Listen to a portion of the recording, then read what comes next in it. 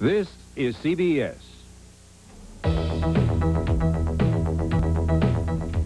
From your 24-hour news leader, I'm Charles Rowe. 49 degrees in Spokane, 48 in Coeur d'Alene at 1022. Truck drivers all over North America are being pulled over for safety checks. Operation Road Check 91 started this morning. Uh, for the next three days, highway officials will be stopping truck drivers and inspecting their rigs to make sure they're safe and legal. Next news on the hour from KREM 2.